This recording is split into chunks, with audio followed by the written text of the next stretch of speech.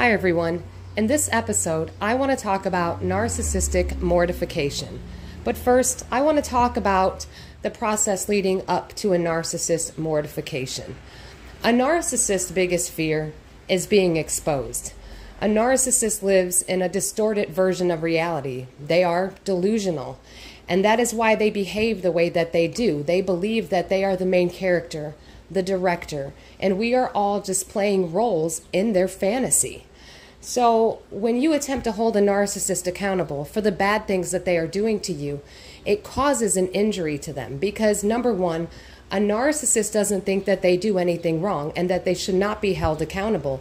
You are there to serve their needs. So, how dare you expect them to see you as autonomous or feel bad for any way that you may be feeling about their behavior? Each time you try to hold a narcissist accountable for something, it shatters the reality, their version of reality that they live in.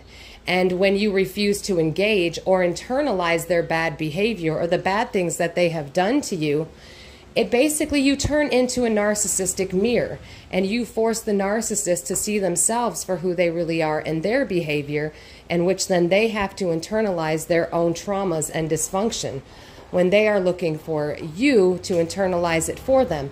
That is why a narcissist projects everything, how they feel about themselves, onto you. Narcissists displace their anger onto you. Narcissists need to do all these things in order to regulate themselves. And when they no longer have someone to be a container to internalize all their traumas, all those childhood wounds, all their shame, all their fears, they then are forced to see themselves. Because when you refuse to engage or internalize what they are doing, they are able to see that maybe they are not the problem. They need you to act out of character.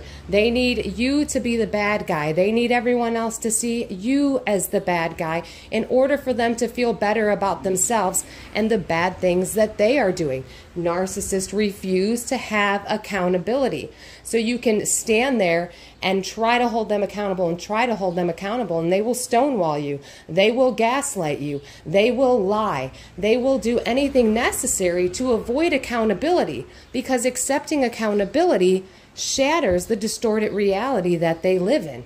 And when this repeatedly happens to a narcissist, especially in front of others, they are faced with severe humiliation, very intense humiliation.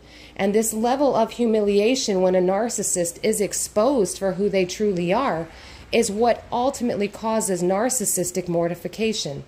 Mortification is such an important process in making a narcissist become self aware of who they are, what they are doing, and for them to shatter their own version of reality and step into the version of reality that we all experience around them, not the version that they pull you into. Narcissists are so hard to expose. Number one, because they surround themselves with enablers. They pull people into this reality. They prime people before they bring you around so that people feel some type of way about you. They have the narcissist perception of you before they get to know you. And this is a lot of how narcissists get away with the things that they do. They set you up for failure. They manufacture chaos. They tell everyone their perceptions of you so that when people see you interacting with the narcissist, you do look like the problem. But little do they they don't understand that they've been triangulated. They've been gaslit. They don't know the full story. All they know is the narcissist version of the story, the narcissist distorted version that allows them to avoid accountability and always make you the bad guy, the bad person. They need you to react and look out of control. They need you to internalize what they're doing to you because they need you to believe it, which reinforces their delusion. And it also reinforces to the people around the narcissist that see, look, this person is the problem. So the more you attempt to hold a narcissist accountable in front of people, the more they will try to make it seem like you're the problem, you're a harasser, you're harassing them when all you're trying to do is hold them accountable. But to them, that is harassment because that becomes exposure. It causes repeated injuries to their ego. So that is why narcissists surround themselves with enablers and people just like them, which is also why you can never seem to make any headway when a narcissist is running a smear campaign on you. Because narcissists surround themselves with people that they have already primed. They already have triangulated you with these people, and these people have only been witness to a reaction, to your reaction to their abuse and manipulations. And for a narcissist to start on a healing journey, to start on the path of self awareness so that they can become rehabilitated or they can actually achieve some form of you know stability in the real world not just the delusion that they live in they do have to go through a process of mortification and exposure they have to be exposed to what is really going on. And the reason why it is so hard to mortify a narcissist so that you can attempt to help them become self aware, so you can attempt to help them live a healthy life, is because, once again, they surround themselves with enablers. And the enablers are already convinced that you are the problem because the narcissist has primed them so well. The narcissist has set you up for failure. The narcissist has manufactured chaos around them to set you up to make you look like the problem. And because of this, people only see your reaction to the narcissist's manipulations and abuse, the dog whistling in public, the triangulation. Now you've been gaslit and psychologically abused repeatedly, isolated, bullied. Narcissist will do some of the most low, low things to people when you try to hold them accountable or they're forced to be held accountable. They need someone to blame, and that has to be you, which is blame shifting and a manipulation tactic called Darvo. And I talk about this in another video, so I encourage you to look it up. Darvo is D A R V O. It stands for deny and deflect, attack the victim's character or the person they're attempting to hold accountable, and reverse victim and offender roles.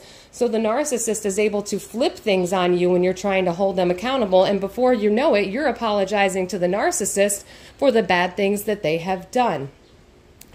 And when it comes to narcissistic mortification, which is an extreme form of humiliation, but it's not done in an aggressive, abusive way. Mortification is intended to help a narcissist become self aware. It is there to shatter that delusion that they live in.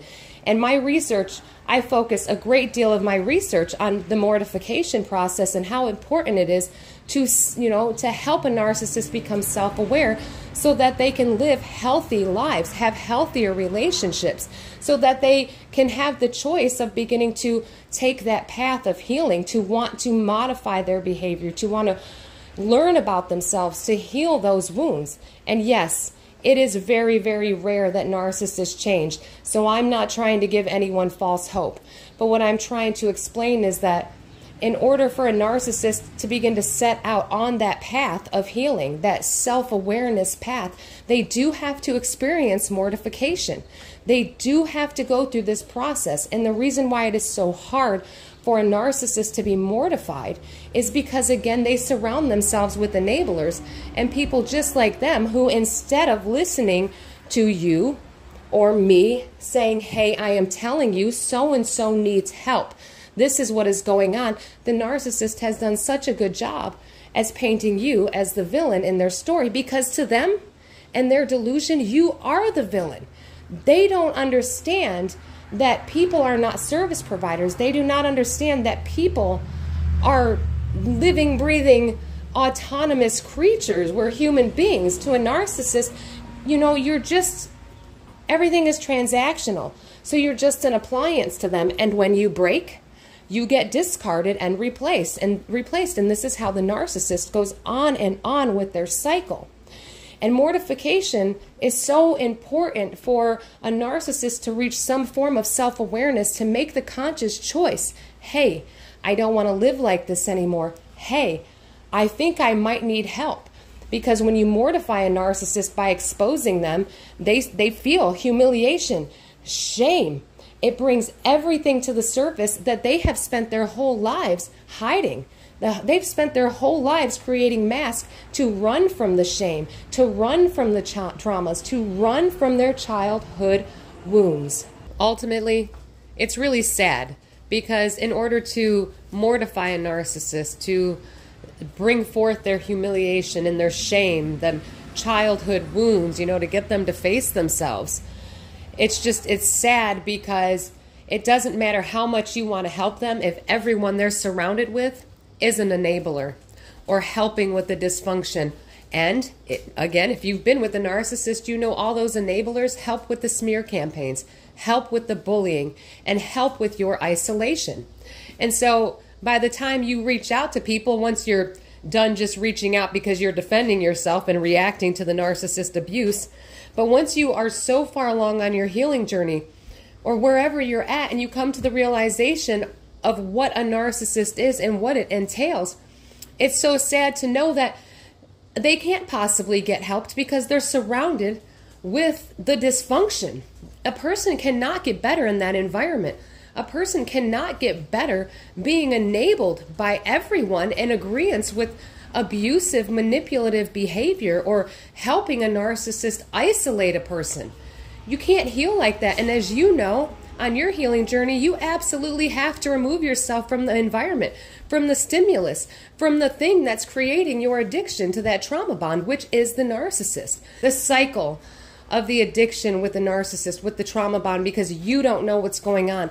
But the narcissist knows what they're doing to you, and they're doing it on purpose. So it just, it's so sad once you finally heal from that and you get out of that, and you know that there's absolutely nothing you can do, even if you wanted to help the narcissist get better, because how are you going to get all the enablers, the family members, everyone around the narcissist to actually listen to what you're saying because they already think you're crazy.